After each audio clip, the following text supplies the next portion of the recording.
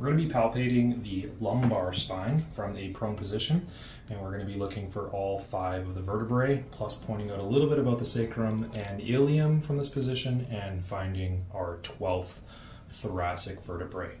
So the first thing I'm going to do is again try to landmark the first and fifth, and I am going to start with the first by first finding the 12th thoracic. So I'm going to load in from the side and try to find the 12th rib. If you're having difficulty finding the 12th rib, a good place to start is first landmark the iliac crest. Turn your hand in the opposite direction using the pads of your fingers, load in and try to find the first rib here. It is running obliquely, so once you've found that, you work your way towards center on that diagonal, but you will not be able to go all the way since it's the erectors, and this is actually attaching to the body of the 12th thoracic vertebrae. So I'm going to skip over the erectors in a general pathway and land on what I believe is the 12th spinous process.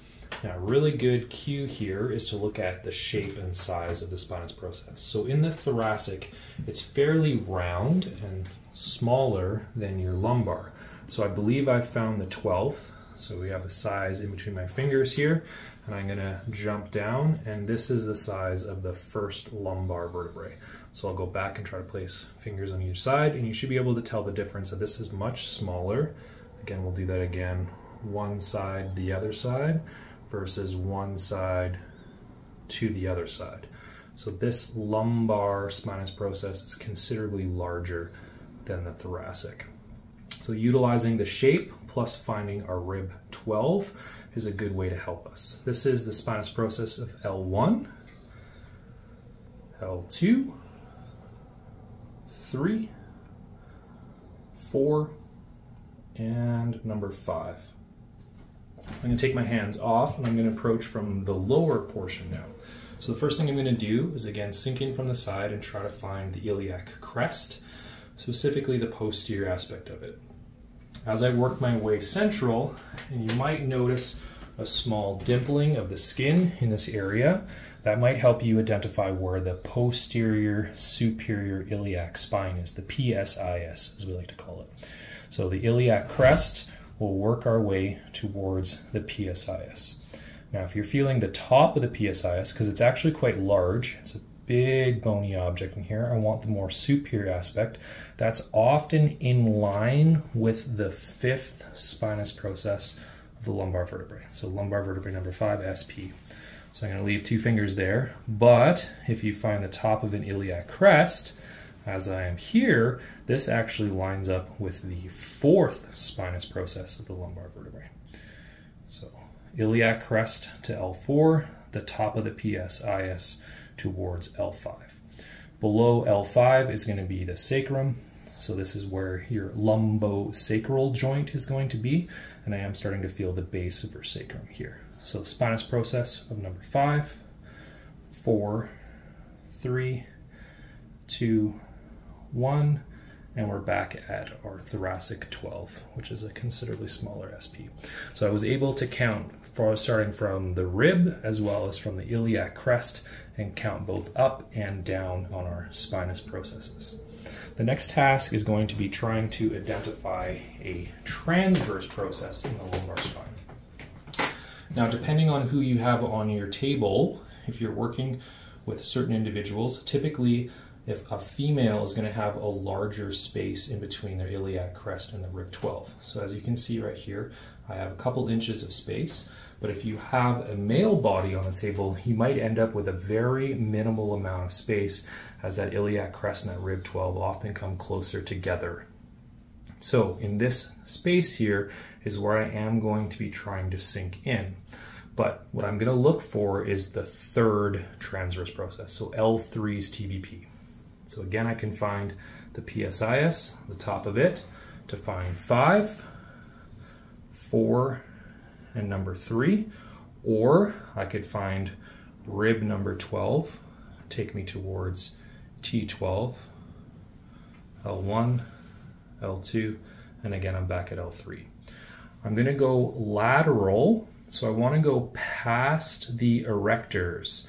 So one way to help me find where the edge of the erectors is, is I can ask my partner here to lift her head and her shoulders up a little bit off the table. Good. And I can see the erectors and feel them, and I will drop off the side into the abdominals. So your thoracolumbar fascia and transverse abdominis are attaching in the back, and that's the edge of those erectors. So let's do that one more time. As she lifts up, I can easily see and the drop off happening right about here. So I'm gonna get her relaxed back down. So I want to sink both into the tissue, so deep, as well as back towards the lumbar vertebrae, medial. But I'm going to place one or two fingers. Don't use just one finger. This is very pokey and often very uncomfortable, but I'm going to be putting all my pressure through my middle finger, and I'm even going to reinforce it with my other hand. I'm going to ask my partner here to take a nice deep breath in for me. And then on the exhale, I'm going to sink in as she's letting the air out. Now, if you don't sink in all the way on the first try, again, have them take a breath in, kind of go with them as they're breathing. You might come out a little bit, and then as they exhale. So I'm feeling a wall of denseness or muscle tissue right up against my middle finger right here. So a landmark, the SP is here, and I've actually gone about an inch and a half, two inches wide, as well as deep, about an inch and a half to two inches. I believe I'm feeling some bony resistance. So I think I'm feeling the transverse process of L3. Now, a motion that we like to have people do is to activate some muscle tissue attached to the transverse process. And the muscle that is often related here is quadratus lumborum. So one of the actions that QL does, quadratus lumborum, is to elevate an ilium, or what we call a hip hike. So I'm going to ask her to slowly start to raise her hip on that side. Good. And as she does that, I get pushed out. When she relaxes, I sink back into the tissue again.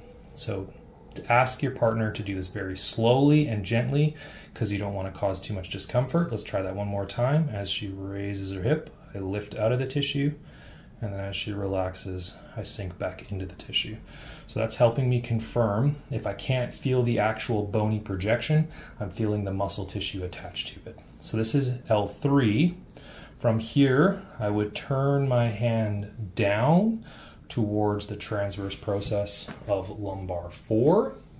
I could repeat the process and ask them to elevate a little bit, good, and relax. Or I'm going to slowly turn my hand and head up towards lumbar number two with this transverse process. And again, go ahead to start awesome and relax. So we typically do not try to palpate number one or number five because the fifth is obscured by the iliac crest and the really thick, dense connective tissue and muscle tissue. And L1, because of rib 12, usually starts to cover it, again, making it very challenging as well as if you have a male body on the table, there might be very minimal space to begin with. So lumbar three is usually the easiest one. And please remember, if you have a lot of dense tissue, the person has a lot of muscle tone in this area, there are a lot of adhesions in the thoracolumbar fascia, there's a really good chance you will not feel it. So you are looking for somebody that's very ectomorphic with low muscle tone that you might be able to start to feel the actual bony landmarks. But for the most part, you're just gonna feel a lot of resistance to your pressure as you're sinking in here. So five spinous processes and maybe one, two, three transverse processes. And that's really gonna finish our palpation of the lumbar vertebrae.